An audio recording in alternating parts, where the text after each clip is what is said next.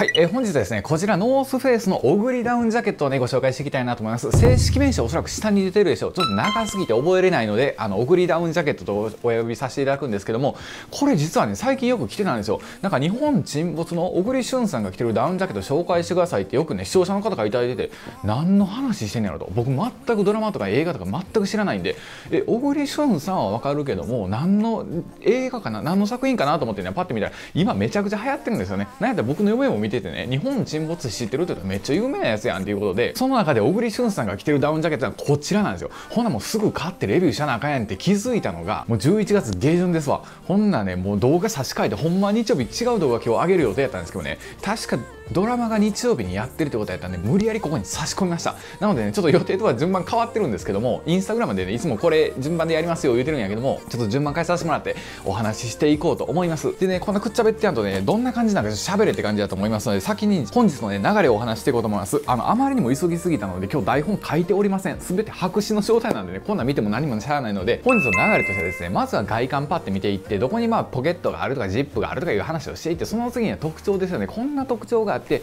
実はこういった僕が今着てるようなヌプシとは違うちょっと綿を使ってるんですよねなんていうお話をしてその次に着用とかねサイズ感デメリットみたいなところのお話をしていこうと思います。僕もいかんせん今開けたばっかりやからこう見ながらね皆さんと一緒にあこれでもちょっと微妙かもしれないです。あここいいですねなんていう話をねしていこうと思っておりますのでよろしくお願いいたします。ではまず外観からいきましょう。ズバン。このダウンジャケットのね特徴って多分おそらくこの首元のボリューム。あの小栗旬さんのねあの画像とか見てたりしてもこの辺の首周りのねボリューム結構あるなっていうイメージだったんですけどそういうところですよね。で生地感としては結構比較的マットな質感というんかな。こうなんやろな。ちょっと上品なね大人のイメージといいますか、まあ、そんな感じの質感っていうのはねこのダウンジャケットの生地かなと思います。そして袖のところにはですねゴアテックスインフィニウムって入ってますね、まあ、これに関してはここにね、えー、ありますのでまあ分かりますよね。で今回はですねもしかしたらこれはね小栗旬さんが来たから見たいっていう方もいらっしゃるかなと思いますが細かい性能の話はしません。本来やったらゴアテックスの話いっぱいしてないけどもちょっと割愛します。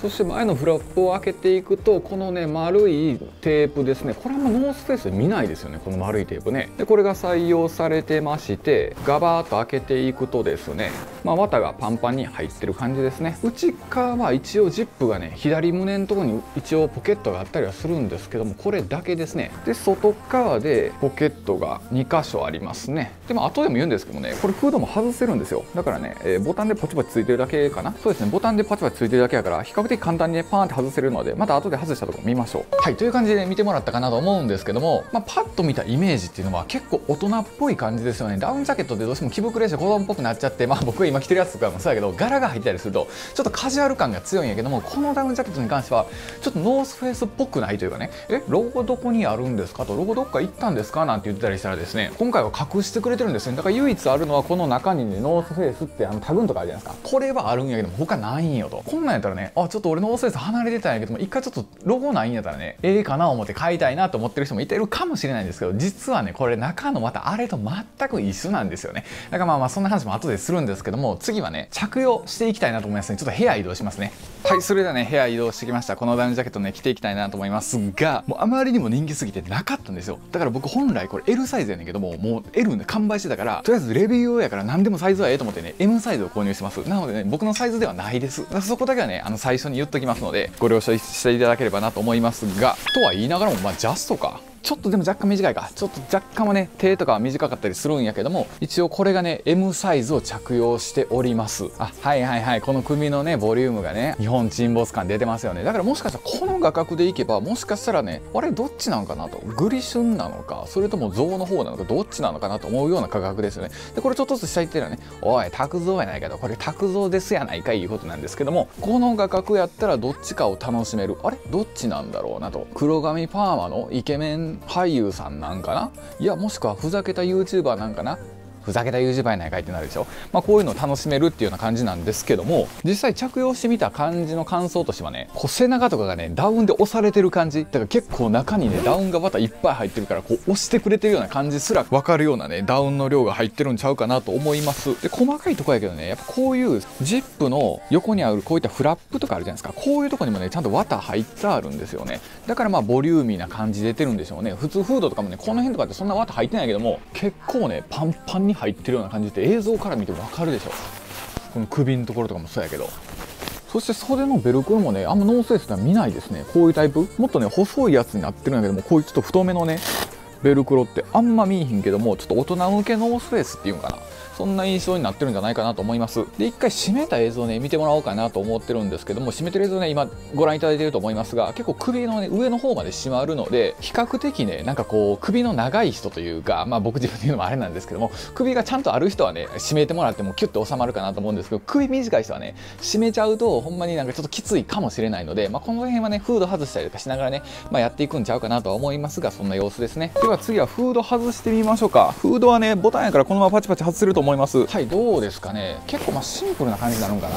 このダウンジャケットって結構首周り顔周りにボリュームあるっていうイメージから一気に雰囲気変わりますよね。まあこれはこれでありかもしれないですね。こうパッて袖見たりしたらねゴアテックスのインフィニウムが入ってたりするしほんでどう見ても質感から見てもねその安い質感のダウンジャケットじゃないなっていうのがねこう見てわかるからね、まあ、あんま首の短い人とかはね外してしまった方が逆にいいかもしれません。僕とかね首細いからこうやっぱ軟弱というかね貧弱に見えちゃうんですね。だからまあフードあった方がいいやろうけど、まあ、そんな感じですね。ではですねこのダウンジャケットのね、まあ、特徴なんかをねさらっとお話ししていこうと思いますがまず1つ目の特徴としては結構これ綿入ってるからあったかいんちゃうかなっていう風にね思いはる方も多いかなと思うんですけどもダウンのね中の綿自体は、まあ、バルトロとほぼ一緒ですわ。あのバルトロライトジャケットって言ってねこのノースフェイスのね人気のダウンジャケットあるんですけど、まあ、これとまあ一緒。あのダウンの配合も一緒やし使ってる繊維も一緒なんですよ。だからまあこう中の綿に金かけてるというよりかは中の綿はねいろんなものと一緒のやつやねんけども、まあ、外見とか生地とかそのテープとか、まあ、フードの取り外しとか、まあ、そういうところにねお金かけてるんかなと。は思うんですが、まあ、中身はね、えーバルトロとか、まあ、こういったねビレイヤパーカーっていうやつとかねあとねアコンカグアジャケットっていうね、まあ、こういうだけジャケットと外見は全然違いますよ。全くちゃうんやけども、まあ、中身は一緒ですわ、まあ、それがねノースフェイスらしさでもあると思うんですけどまず1つ目。で次の特徴としてはまあねこのゴアテックスのインフィニウムの話せんとこうと思ったんやけどさせてくださいよ。どうしてもねこれせん限りねなんでこのダウンジャケットが7万も8万もするんやっていうこと喋れないんですよ。これ普通の記事やったらそんな値段いかんねんけどもやっぱインフィニウム使うと高いんやっていうことでこのゴアテックスのねインフィニウムっていうねこのゴアテックスにも2つあるでしょ。白にしますか。それともあなたが落としたのは金の斧ですか。白の斧ですか。どっちですかって言った時に大体金の方がいいと思うじゃないですか。でまあ金は金でねいいとこあるんですよ。これも防水。完全防水ですよと。でこっちの白の方はねどうなんかっていうと比較的ねこう風に強いっていうのがこの白の特徴なんですね。なのでダウンジャケットってしっかりこう中あったかいのいいんやけど風ね外の冷たい風ってあるじゃないですか。外でこう作業とかデートとかしてたりしたらギューってもう震え上がるような寒さって風で感じるあれをしっかり守ってくれるっていうことで白のゴアテックスは風に強いんだ。そして金のゴアテックスはどうですか？雨に強いんだっていうところでね。これはダウンのそのあったかくなった性能を逃がさないためにしっかり風を守ってくれるっていうところがこのダウンジャケットの特徴になってるんですね。まあ今となってはゴアテックスのインフィニウムその白の方っていうのはねこのジャケットもオグリダウンジャケットもそうやし、えー、バルトロもそうですしビレイヤーもそうやし、まあ、ありとあらゆるところで使われてるんですけども、まあ、そういったところがね、まあ、特徴になってくるかなと思いますじゃあお前これなんで値段高いの？と。このバルトロとかビレイヤとかって6万円ぐらいで買えるんやけどもこっちのオグリの方はなんで高いんやっていう話になってくるんですけども。あ小栗旬さんのファンの方見てたら申し訳ないですね。あの小栗というのは呼び捨てで呼んでるわけじゃなくてねあの分かりやすく小栗ダウンというふうに呼ばせてもらってますのでその辺はごご配慮いただきたいなと思うんですけども。なんで高いんかっていうとですねまあやっぱ僕が思うんですねこのテープの縫製とかもねやっぱりこういう細かいところがしっかり大人っぽさ出してるんですね。こういう中に裏生地貼っつけて塗ってるでしょ。これ分かります？でも対してバルトロとかってねテープの上からねそのままねあのミシンでババババって塗ってるだけなんですよ。だから別に裏生地とか大してないんやけどもこんな感じです。なんかちゃうでしょ。でもやっぱ小栗の方はねこう上品な感じ出てるじゃないですか。やっぱこういう細かいところもそうやしそれ以外にやったらこういったね丸のタイプってよりまた上品さも出てくると思うんですけどこんなんでね、まあ、こっちもそうですけどはっきり言って無駄なんですね無駄というかデザインなんですよね。だから手間かかっちゃうんですけどそういうところで、まあ、デザイン的にも洗練されたデザインにもなってるしなおかつちょっとこだわった部分になってるんかなと思います。なのであの素材的な部分ダウンの綿とか外の生地とか、まあ、そういうところで大きな差があるとは思わないんですけどもそういう細かい縫製であったりそういうこう着用した時にね首元にくるフィット感とかっていうちゃんとそういうところまで考えられてるからおそらく2万円ぐらいね高くなってるんですよ。バルトより1万5000円ぐらいかな高くなってるんですけどそういうところかなと思います。では対してデメリットがどんなとこにあるんかというとですね、まあ、はっきり言って今のところねデメリットないかなと思うんですよね。こう着用しててこう着丈のねある程度長さもあったりするしで次ねまたおすすめの人でも喋ろうと思ってるんですけど普通こういうね丈長いやつってね重たいんですよ。だから疲れるんですけどそういうのもないんですよ。余計な部品とかつけてないから。軽く仕上げてるっていうところもね良かったりするってことで特にデメリットはありません。まあ唯一あるとしたらあとはシルエットの問題。もうデザインとかシルエットが好みか好みじゃないか。もうそれだけの話で性能的なんでデメリットはないかなと思います。じゃあおすすめの人どんな人がおすすめなんですか？いう話をするとですねやっぱりもちろん街中でね使うのもいいですよ。それまあ小栗旬スタイルですねなんて言ってかっこいいんですけどもそれ以外にやったらね釣りとかもいいかもしれないですね。あの着丈長いからねこうやって座ったりとかしててもこう風が入ってこうへんし一日中着てたっても疲れないんですよ。なし軽いから。だからおそらくですよ。今ちょっとはっきり知らんねんけどもノースフェイスのねこういったマウンテンダウンジャケットより多分軽いと思います。こっちの方が。着丈とかはね全然こっちの方が長いんですよ。だから重そうに見えるかもしれんけどこのマウンテンダウンの方がね生地とかがやっぱ重たいっていうところもあってどうしてもね、まあ、ボあとボタンを使ったりとかしてるからやっぱ重くなっちゃうんですけど多分こっちの方が軽いと思います。着てる感じは全然圧倒的に軽い。そういうところでねいいかなと思います。なんやったらこんだけ首元覆われてたら